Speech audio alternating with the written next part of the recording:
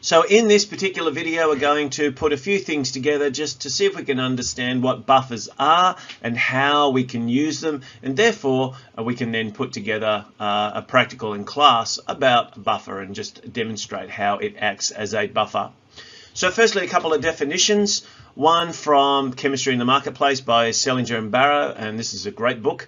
Um, a buffer is a chemical added to water to minimize a change in the pH if acids or bases are added.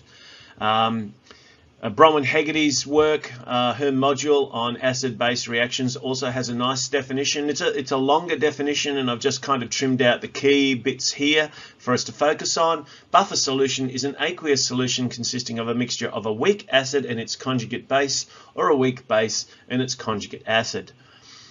So here we have uh, a couple of definitions that give us a bit of an idea about what's going on with a buffer. We can use both our knowledge of conjugates and also an understanding of um, our uh, equilibrium constant in relation to the acid ionization to give us a little bit more of an understanding of what's going on here. So if, for example, we were to look at a, uh, a weak acid and its conjugate. So let me just pick something like uh, acetic acid. So here's acetic acid. Now we know that acetic acid in water will act as a Bronsted-Lowry acid. Um, and it will donate a proton to the water, so we'll get an H3O plus, and we'll also have the CH3COO minus acetate ion. So this is a standard. Here is our weak acid, and here is our conjugate uh, base. So we've identified both of these two things.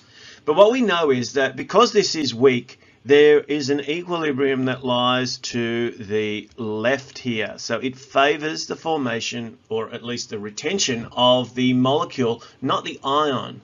So how do we make a buffer in the first place? Well, what we have to do is we have to add a common ion.